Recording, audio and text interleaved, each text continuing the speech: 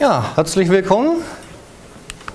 Mein Name ist Stefan Bauer. Ich war zehn Jahre lang bei einem Geldinstitut im Stuttgarter Raum beschäftigt, war dort schwerpunktmäßig im Bereich IT-Security und Virenschutz eingesetzt und bin aktuell im X2Go-Projekt der Mann mit den vier Hüten, sprich ich bin der X2Go-Projektmanager seit Januar 2015. Ich bin der X2Go Lead Evangelist, das schon ein ganzes bisschen länger und noch ein bisschen länger bin ich der Eventplaner ähm, ja, und Firmenchef ist die letzte Position auf der Liste.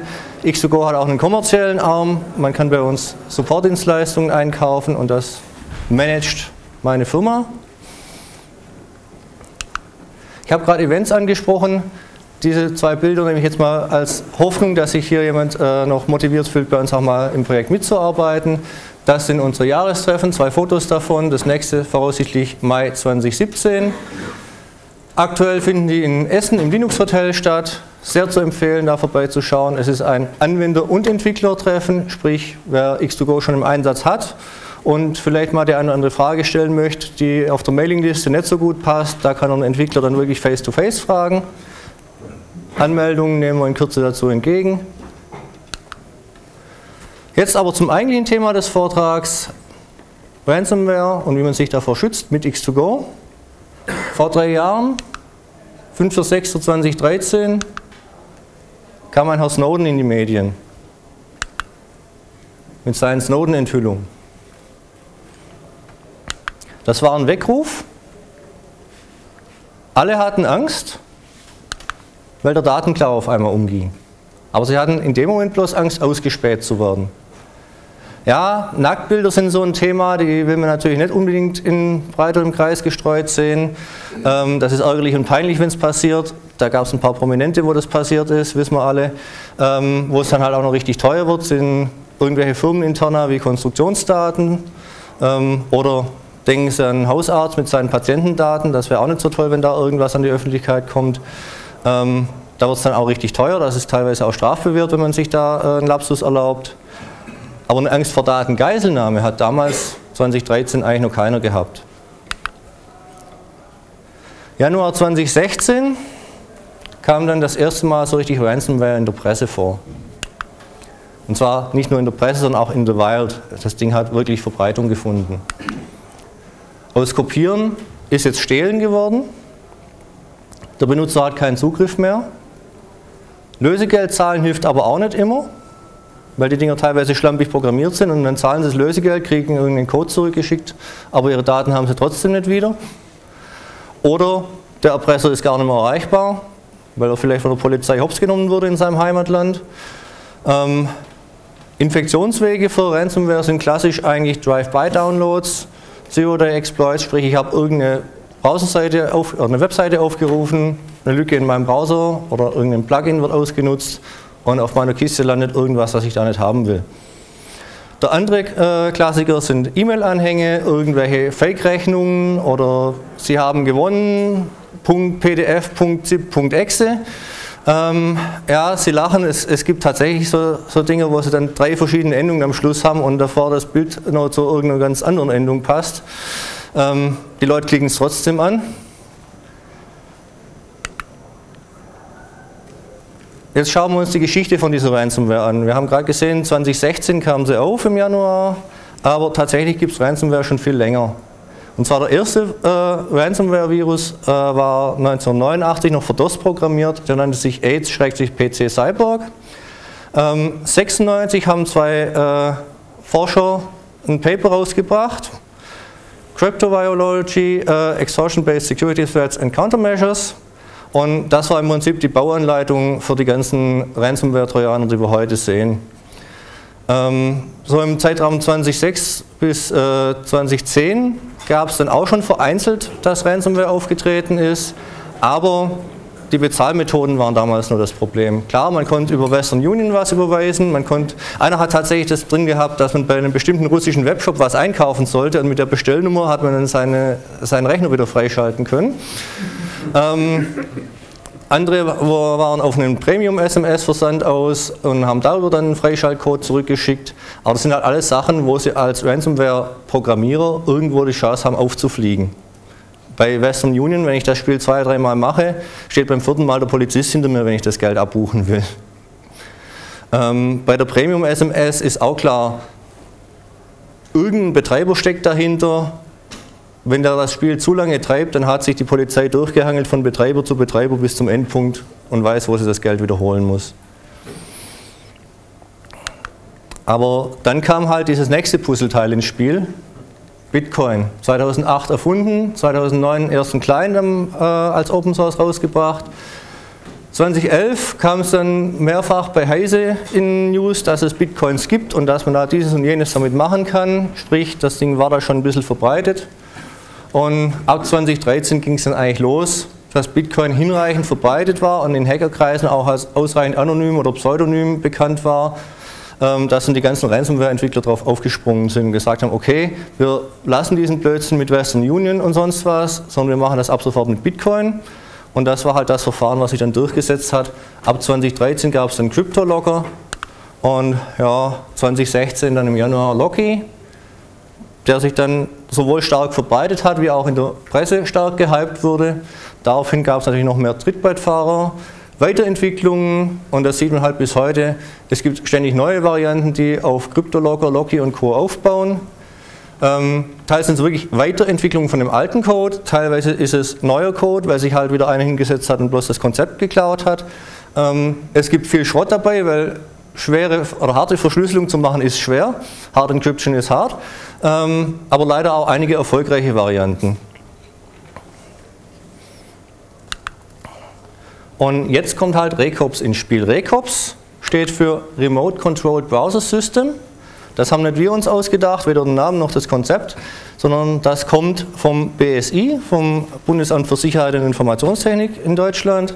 Die haben das 2006 veröffentlicht und da gehen wir gleich auch noch ein bisschen genauer drauf ein, aber erst einmal, wie funktioniert eigentlich eine typische Firewall? Firewall kaufen, Regel hinzufügen, alles erlauben, fertig. Sieht man leider viel zu oft auch in Firmen und die normale Heimanwender-Firewall funktioniert Gottes, leider Gottes genauso. Wenn Sie sich eine Fritzbox oder einen Speedport-Router oder sonst was daheim anschließen, von innen nach außen geht immer alles. Bloß von außen nach innen blockt das Ding. Und der Unterschied bei Recops ist jetzt halt, dass ich nicht wie eine Firewall, Virenscanner, UTM-Appliance hergehe und sage, du kommst hier nicht rein, sondern ich sage auch, du kommst hier nicht raus. Es gibt erstmal keinen Scan, keine Signaturen, keine Heuristik, damit habe ich keine diagnostische Lücke, auf die ich Rücksicht nehmen müsste. Ich habe keine Chance für irgendwelche Zero-Day-Attacken und ich habe auch keine Fehlalarme, weil wenn ein Scanner nicht vorhanden ist, kann er auch keinen Fehlalarm werfen. Ich habe das Internet bei dieser Recops-Lösung nur als Guckkasten. Alle aktiven Inhalte bleiben in der DMZ. Als Bildchen kann man sich das ungefähr so vorstellen. Sowas hatten wir bestimmt schon mal im Fernsehen gesehen. So sieht es in der realen Welt aus und wir machen das jetzt halt digital und elektronisch. Wir sperren das Internet in die Kiste.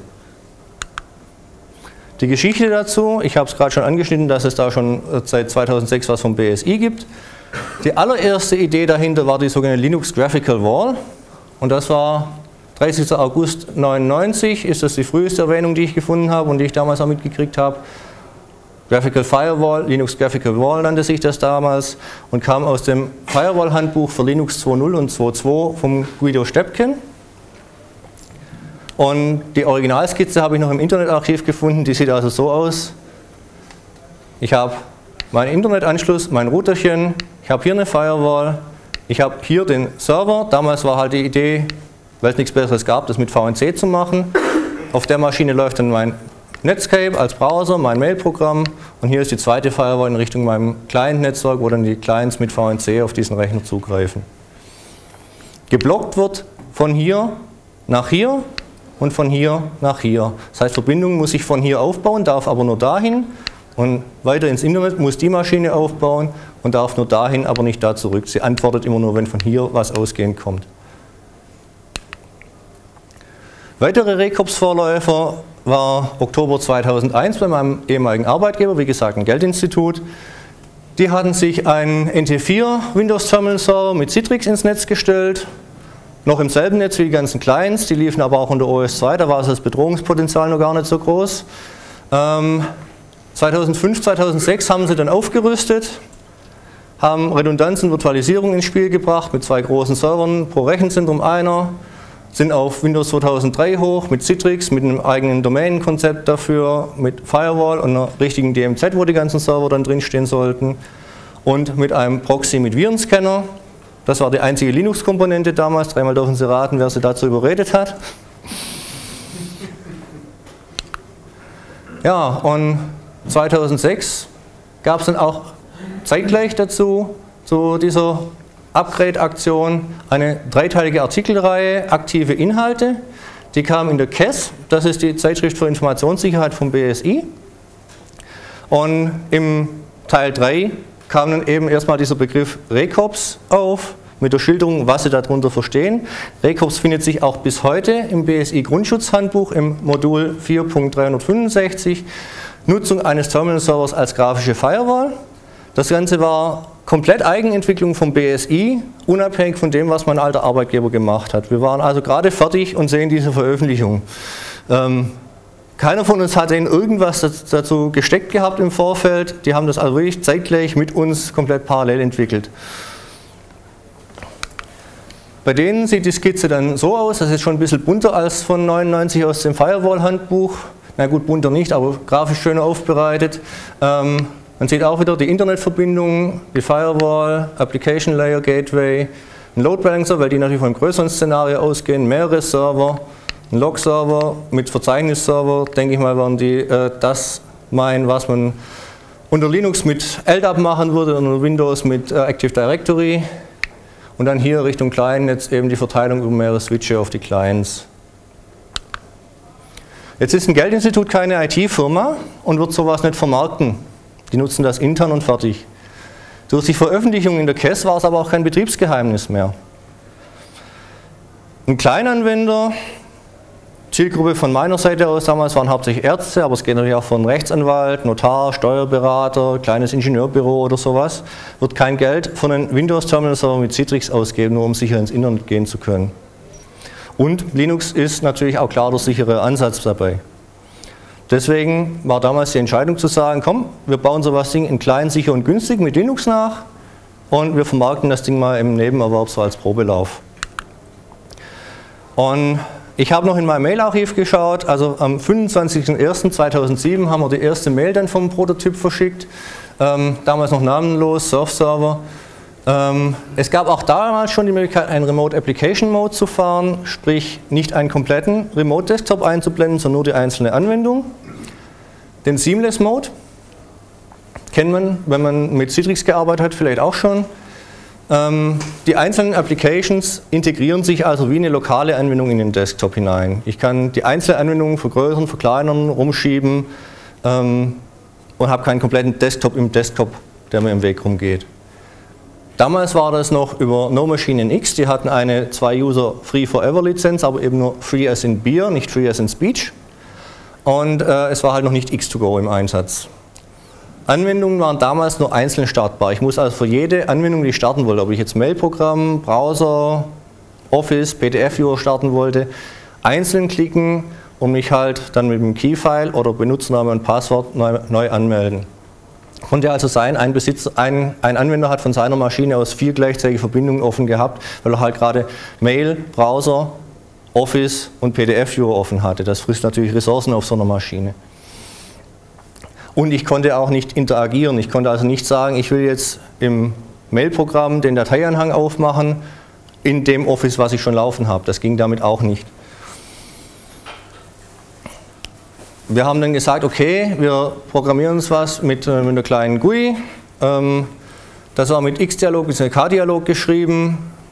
Man baut eine Verbindung auf zum Server hin, kriegt diese GUI präsentiert und kann in dieser GUI die einzelnen Anwendungen nachstarten. Dadurch laufen sie in einer Sitzung und ich kann halt auch wirklich aus dem Mailprogramm aus sagen, Anhang öffnen in dem Office, was ich eh schon offen habe und brauche nur eine Sitzung dafür. Es war aber ein Support-Albtraum beim Upgrade, das Ding über diese X-Dialog-K-Dialog-Lösung zu fahren weil uns äh, Debian irgendwann das K-Dialog äh, aus dem äh, Package Management rausgeschmissen hat und keine Sicherheitsupdates mehr dafür kamen etc. pp.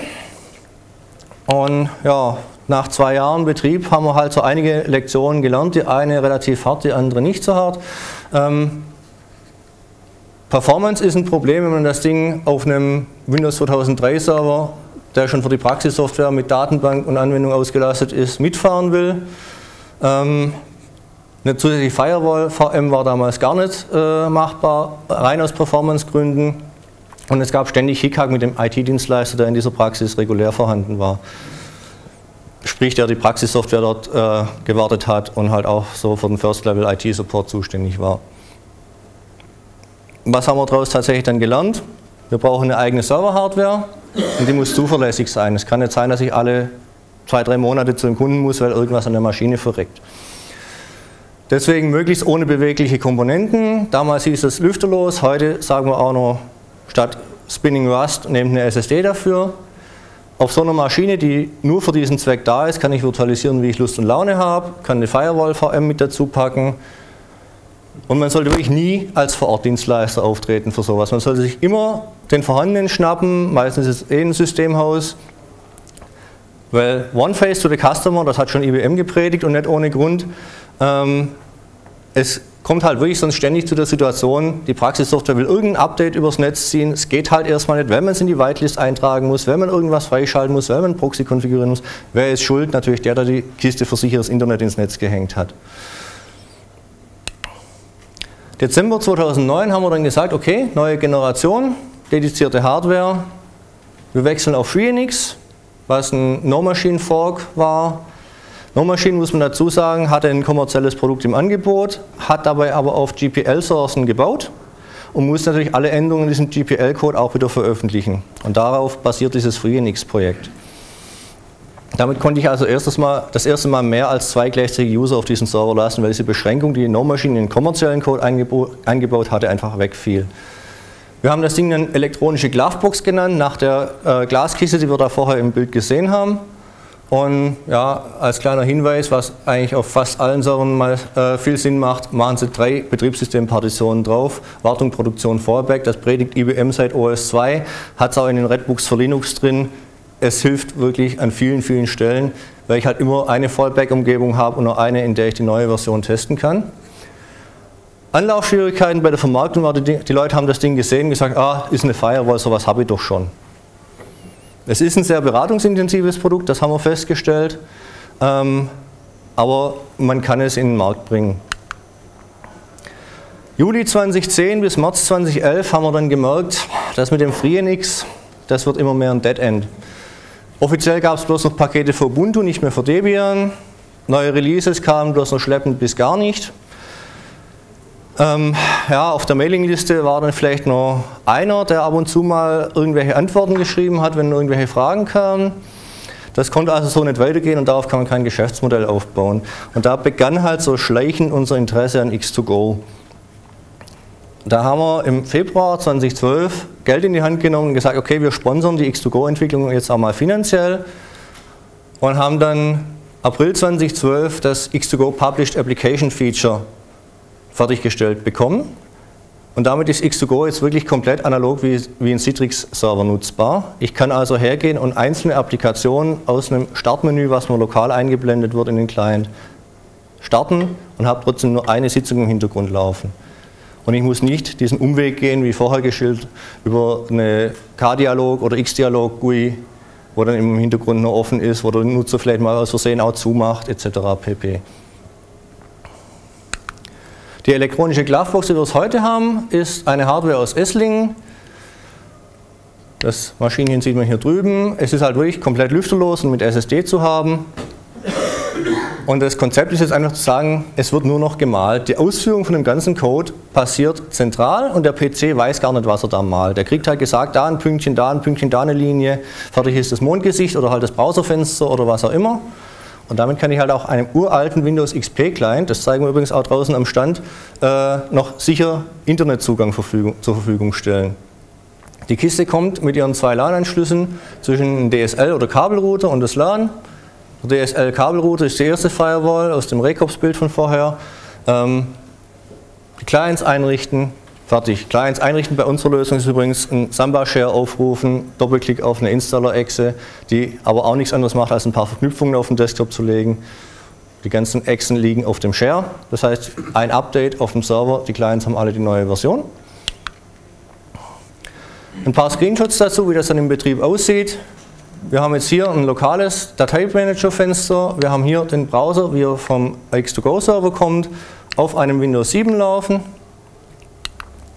Auch ein Mail-Programm steht natürlich zur Verfügung. Und eine Live-Demo haben wir am Stand vorne, äh, Stand B2, das ist im Prinzip hier zur Tür raus, links und bis ans Ende.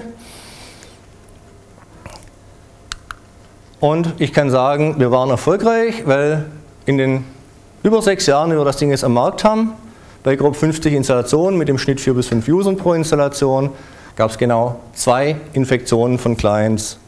Und das war halt wirklich so ein Benutzerfehlverhalten aus der Kategorie Gier frisst Hirn. Sprich, hier Ihre gewonnenen Flugtickets, Doppelklick, Doppelklick drauf, Pöff. Ähm, er hat es versucht, in der gesicherten Umgebung aufzumachen, weil es als PDF getarnt daherkam. Es war natürlich eine Windows-Exe. Wir haben natürlich auf der Maschine keinen Wine installiert, sprich diese Exe konnte nicht auf der Linux-Maschine ausgeführt werden. Und anstatt dass der Kunde dann sagt, oh, besser mal die Finger weg, das geht nicht auf, ich rufe meinen IT-Support an, schleust er das Ding ins Produktionsnetz ein über die Dateischleuse und klickt es da doppelt. Hm. Aber auch da hat unsere Lösung wieder eine Schutzwirkung noch gezeigt, weil diese ganzen Ransomware-Trojaner heute so gestrickt sind, dass sie zweiteilig sind. Sie haben eine Loader-Komponente, die ist möglichst klein gestrickt, dass sie einfach am Virenscanner vorbeikommt. Und erst wenn die auf der Kiste ist, fängt sie an, über HTTP den Schadcode nachzuladen. Was haben wir jetzt gemacht? Wir sagen ja, du kommst hier nicht raus. Sprich, der hat versucht, seinen Schadcode nachzuladen und das Ding ist auch noch so blöd geschrieben, anstatt zu merken, es geht nicht und mal zu sagen, okay, ich warte mal 10 Minuten, vielleicht hat der User gerade kein Internet und probiere es dann nochmal. Nein, das Ding feuert in der Sekunde mehrfach seinen Request raus, wenn es nicht rauskommt. Hat uns das Logfile vollgeballert vom Proxy, Access denied, das Logfile ist vollgelaufen, wir kriegen Alarm deswegen und wissen, die Kiste hat ein Problem, konnten sie vom Netz nehmen. Also kein Schaden auf der Maschine in dem Sinne. Natürlich machen danach eine Neuinstallation von der Maschine, einfach um sicher zu gehen, dass da nichts anderes noch passiert ist. Aber die Maschine ist nicht verschlüsselt worden. Es gab keinen Datenabfluss von irgendwelchen Patientendaten zurück ins Internet oder zu irgendeinem bösen Hacker. Es war einfach bloß mal Betriebsunterbrechung von ein paar Stunden auf dieser Maschine, auf diesem einen Client. Mehr ist nicht passiert. Ja, ich habe es ja gerade schon geschildert, was da passiert ist. Ausbruch gestoppt. Und unsere Reaktion nach dem zweiten Vorfall war jetzt zu sagen, okay, wir gucken jetzt Dateianhänge an, wenn irgendwas Gezipptes daherkommt und wir in dem ZIP dann sehen, dass ausführbare Inhalte drin sind oder weitere komprimierte Dateien, kriegt der User jetzt noch dieses Pop-up vorne hingeballert. Und seitdem ist wirklich gar nichts mehr passiert.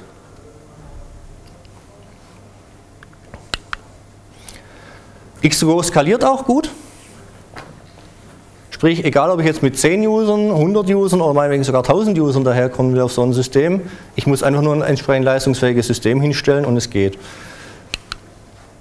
Wir haben X2Go-Pakete mittlerweile sogar von Raspberry Pi.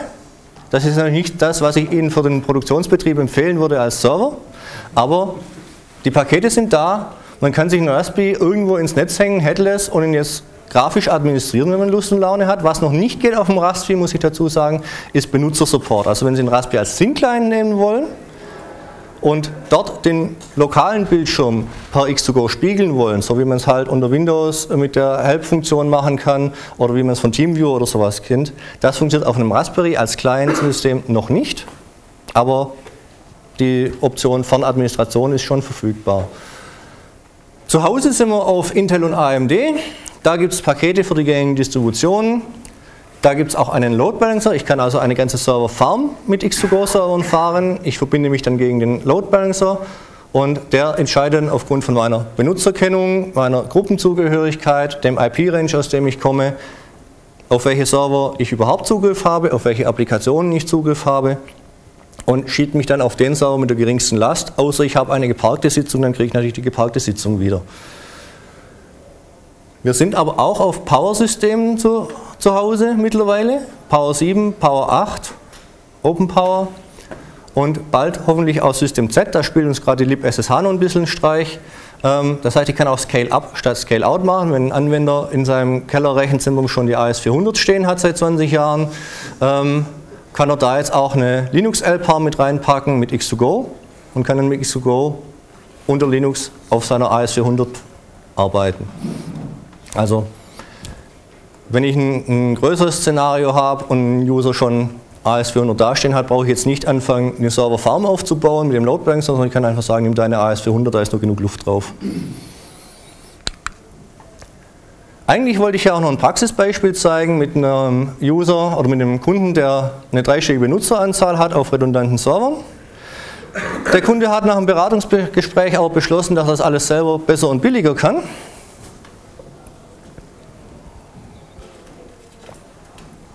Und da muss ich ganz ehrlich sagen, billiger mag er sein, aber besser stelle ich mal hart in Zweifel bei den ganzen eklatanten Verstößen gegen BSI-Empfehlungen, die in seinem Konzept dann drin waren. Da hat, er, sich seine ganze Schutzwirkung so ziemlich zum Teufel gejagt damit. Und mit Security Theater ist Komfortverlust ohne wirklichen Sicherheitsgewinn verbunden. Deswegen machen wir jetzt an der Stelle statt dem Praxisbeispiel ein paar Do's und Don'ts. Thema Benutzerkennung. Identische Benutzerkennung zwischen Produktionsnetz und so einer Surfumgebung heißt, wer diese Surfumgebung kompromittiert, kompromittiert, wer dort auslesen kann, was sie für Benutzerkennungen haben, weiß automatisch auch, welche Benutzerkennungen Sie in Ihrem Produktionsnetz fahren und kann gezielte Angriffe gegen diese Kennungen fahren. Warum macht der Kunde es trotzdem? Weil er Single Sign-On haben will und das bei seiner Lösung angeblich dafür braucht. Wir können SSO anders, sage ich, weil wir haben es bei unseren Kunden so im Einsatz und auch da geht es sicher. Der Ansatz bei uns ist einfach mit äh, SSH Private Key Files zu arbeiten, die im Benutzerverzeichnis hinterlegt sind. Dann das Thema Dateischleuse. Wir setzen auf eine manuelle Schleuse. Also wer schon mal einen Midnight Commander, Norton Commander bedient hat, ungefähr so ähnlich funktioniert unsere Dateischleuse. Man hat auf der einen Seite ein Fenster mit den lokalen äh, Verzeichnissen, auf der anderen die Verzeichnisse von seinem Home Directory auf dem Surf-Server. Und der Benutzer muss halt selber aktiv werden. Er muss sagen, ja, genau diese Datei oder diese ausgewählten Dateien will ich jetzt von da nach da kopieren. Dieser Kunde wollte eine automatische Schleuse mit einem synchronisierten Verzeichnis. Und das ist aus Sicherheitsgründen halt wirklich absolut abzulehnen. Weil wenn es ein Drive-by-Download schafft, in, in dieses Verzeichnis was reinzukopieren, was Sie synchronisieren, dann guckt der nächste User da rein, sagt, oh, eine Dancing Bunnies Exe, die will ich mal anklicken und das Ding schlägt durch. Exploits dafür existieren bereits. Und da gibt es einen kleinen Exkurs, wie funktioniert denn die DLL-Suche bei Windows. Ein Windows-Programm habe, eine Installer-Datei, eine Setup-Exe oder auch irgendeine andere Exe, die kann eine externe DLL voraussetzen. Und wenn, aus einer, wenn ich eine Funktion aus so einer DLL aufrufe, dann sucht Windows erstmal eine DLL mit diesem Namen. Und zwar erst in dem Verzeichnis, in dem diese Setup-Exe oder halt die gestartete Exe liegt. Und nur wenn dort keine ist, sucht es weiter im Pfad. Sprich, ich muss eine DLL nehmen, die den gleichen Namen hat, eine Funktion, die genauso heißt wie die, die erwartet wird, aber die andere Dinge tut im Hintergrund. Und da gibt es zum Beispiel vom JRsoft InnoSetup die UX-Theme DLL, in die man Sachen eingeschleust hat, dass dann halt im Proof of Concept hm, der Taschenrechner von Windows aufgeht, wenn ich halt diese Setup-Exe anklicke und halt die entsprechend gepatchte DLL mit dem Verzeichnis gelandet ist. Und wie ich den Taschenrechner starten kann, kann ich natürlich auch irgendwelche schlimmeren Sachen starten. Virenscanner war das nächste Thema bei diesem Kunden. Klingt jetzt erstmal nicht unvernünftig, dass man sagt, man will dann Virenscanner drauf haben. Weil, ja, hatten wir ja damals bei der Lösung bei meinem alten Arbeitgeber auch. Das Problem ist, mittlerweile setzen mehr und mehr Webseiten auf HTTPS. Das heißt, ich kann den Datenstrom erstmal gar nicht scannen, weil er verschlüsselt ist. Ich müsste in diese Verschlüsselung reinschauen. Ich müsste sie also terminieren, sagen, hey, ich bin eigentlich der Enduser, zeig mir mal, was da kommt. Und dann meinem Enduser wieder eine neu verschlüsselte Verbindung anbieten. Kann man in gewissen Grenzen machen. Der Fehler oder der Teufel steckt da im Detail.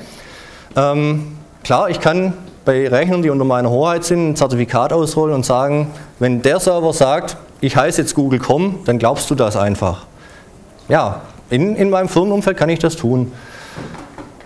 Ähm, sowas mag aber zum Beispiel Google Chrome gar nicht. Und deswegen hat Google Chrome hardcodiert, wer sagen darf, wer www.google.com ist. Und sobald eine Seite das geschafft hat, von dem Browser so unterstützt zu werden, dass es hardcodiert drin ist, habe ich halt verloren mit der Methode. Dann wird die Verbindung nicht aufgebaut oder es wird dem User halt angezeigt, hey, Sicherheitswarnung, hier passt was nicht, Hilfe, Hilfe, Hilfe. Ich kriege das dann nicht weg. Damit trainiere ich den User dazu, solche Sicherheitswarnungen zu ignorieren. Das kann auch eine Sache sein. Wäre bei euch ja kein Problem, weil der Browser läuft ja auf der Box, oder? Ähm, ich trainiere den User trotzdem dazu, Sicherheitswarnungen zu ignorieren, die er nicht ignorieren sollte. Ja, aber das. Ich sehe jetzt nicht, wo der, Das wäre ein Problem, wenn das auf dem Endbenutzer-PC lief für den Browser, oder? Es ist so oder so ein Problem, weil wie gesagt, entweder verweigert der Browser dann halt sowieso die Verbindung, sagt, weil ich habe intern dieses Zertifikat stehen, dieses Zertifikat, was du schickst, passt nicht dazu. Ihr habt ja keinen Chrome vermutlich dort laufen, oder können die Benutzer da beliebig aus Ähm, Browser wir stellen tatsächlich momentan Firefox zur Verfügung darüber, aber ähm, ich denke auch nicht, dass es jetzt in Firefox ein, ein dauerhafter Zustand sein wird, dass es grundsätzlich so funktioniert. Ich bin mir sogar nicht sicher, ob da auch schon irgendwelche Seiten entsprechend hinterlegt sind. Also ich würde an der Stelle einfach nicht mehr scannen. Es ist mehr Aufwand, man hat mehr Hickhack damit, als, als man damit gewinnt. Ähm, das nächste ist halt auch Datenschutz und IT-Security. IT-Security hat das Stichwort Integrität. Ganz heiß ist es, wenn ich über diesen Browser halt auch noch privates Surfen erlaube. Weil dann könnte ich ja, in dem Moment, wo das Ding terminiert und sagt, so, ich mache jetzt hier mal Inspektion auf Viren, auch sagen, okay, und zeig mir mal, was das alles ist. Schreib das in ein Logfile rein und plötzlich habe ich private Daten von dem User, der gerade sein privates Homebanking drüber gestartet hat, der eine private Mail über das Google Web Interface geschrieben hat, etc., auf meinem Firmenrechner und bin dafür haftbar, dass ich da jetzt plötzlich mitgeschnüffelt habe. Also schon allein deswegen ist es halt auch abzulehnen.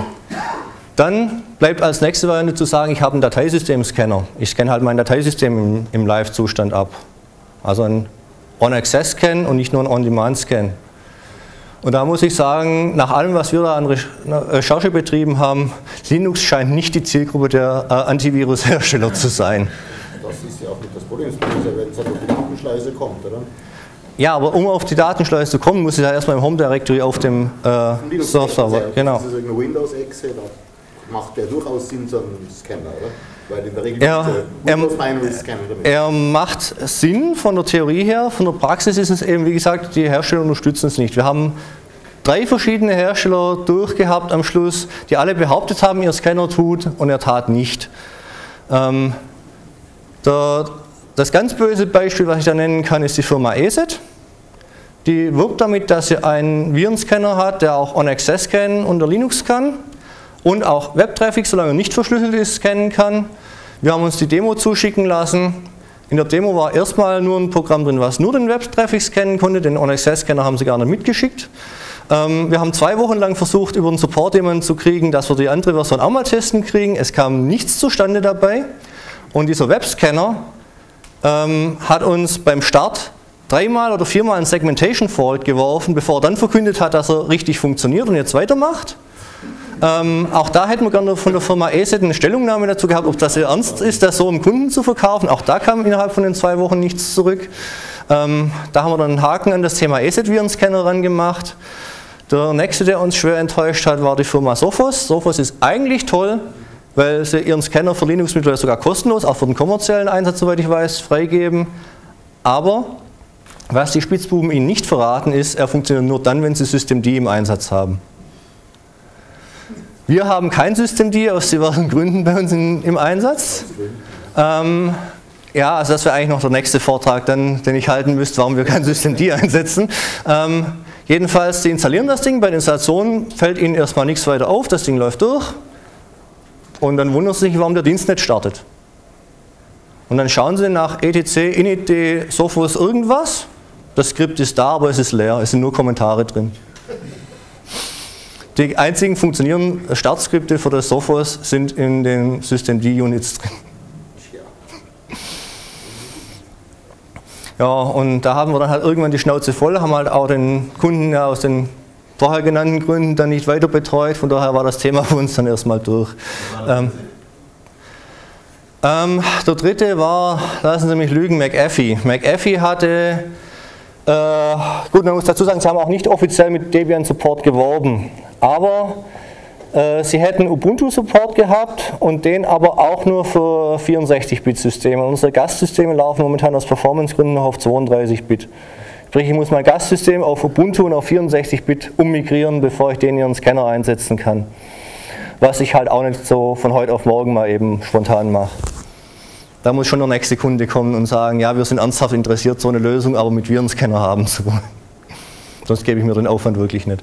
Und das andere ist halt, man muss sich die Wirtschaftlichkeit auch mal anschauen. Was zahle ich für so eine Virenscanner-Lizenz? Für Web-Traffic-Scan, für On-Access-Scan auf einem Server, wo es dann wieder nach End-Usern geht. Wenn ich das Ding nicht im Einsatz habe und dann halt einmal alle drei Jahre eine Maschine neu aufsetzen darf deswegen.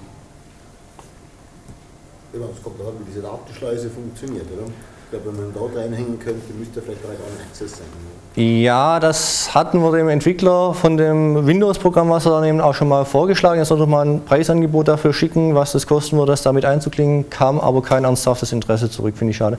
Eine Wortmeldung da hinten. Moment, da brauchen wir ein Mikrofon. Moment.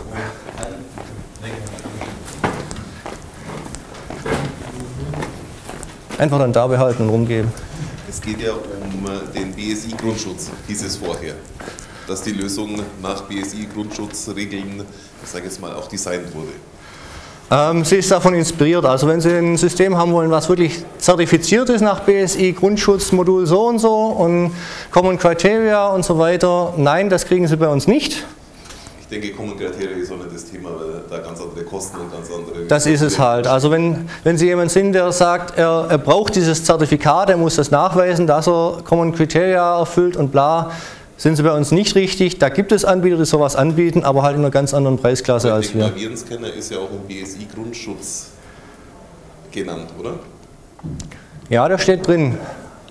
Ich meine mich aber zum Beispiel dunkel erinnern zu können, dass das BSI selber, für den, zumindest für den Privatanwender, Einsatz sagt, auf Linux ist momentan kein Virenscanner notwendig. Okay, danke.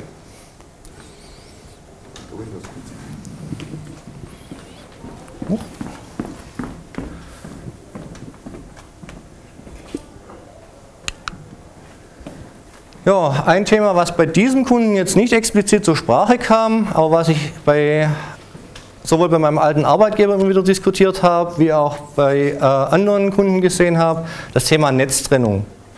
Netze mit unterschiedlichem Sicherheitsniveau gehören nicht auf die gleiche Hardware. Das heißt, wenn Sie eine Trennung zwischen Internet, DMZ-Bereich und Produktionsnetz fahren wollen, dann nehmen Sie bitte kein VLAN auf dem gleichen Switch. VLANs sind ein Managementwerkzeug, nicht mehr und nicht weniger, sie sind keine Sicherheitsmaßnahme. Es gab früher immer wieder Exploits, um Switche dazu zu kriegen, Pakete VLAN übergreifend hin und her zu werfen. Es wird nicht der letzte gewesen sein. Tun Sie sich das bitte nicht an.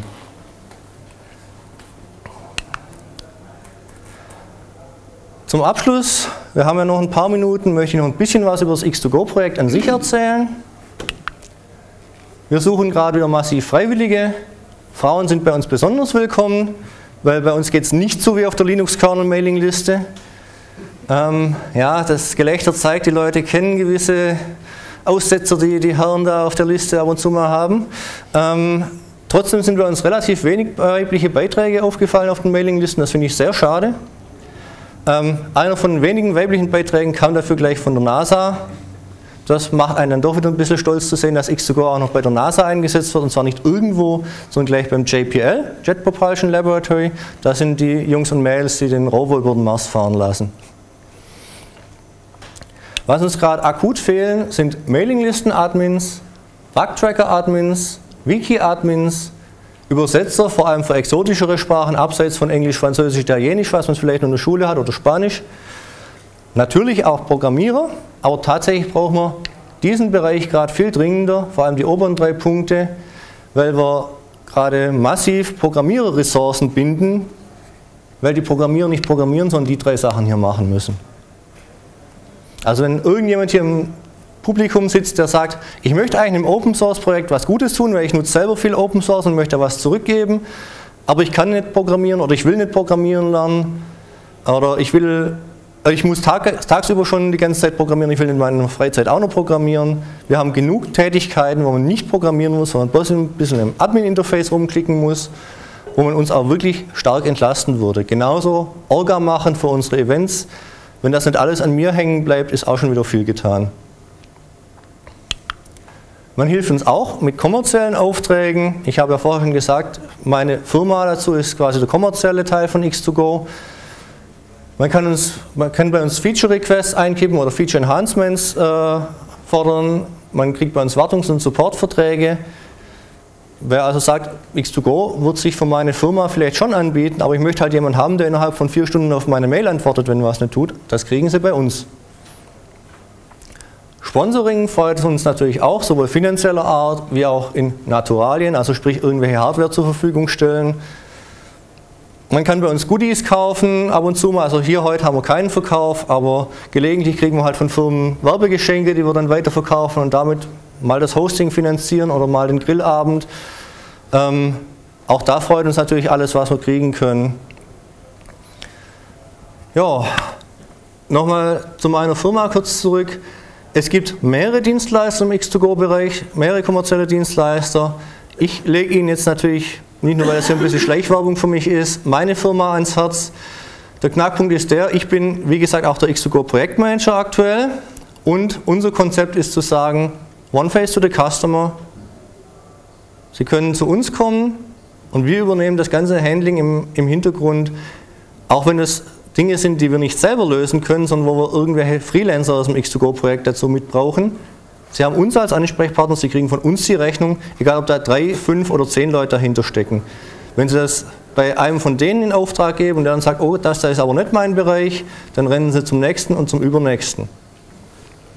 Wir deckeln das Ganze, natürlich verlangen wir dann von dem Programmierer ein bisschen Nachlass, dass wir ein bisschen Provision dafür kriegen, aber dafür haben Sie halt nur genau einen Ansprechpartner und einen, der Ihnen die Rechnung stellt. Ja, das war mein Vortrag.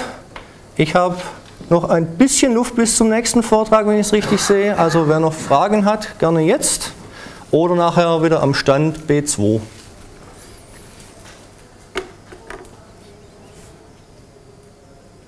Keine Wortmeldungen mehr? Habe ich alle erschlagen, okay. Sage ich recht herzlichen Dank.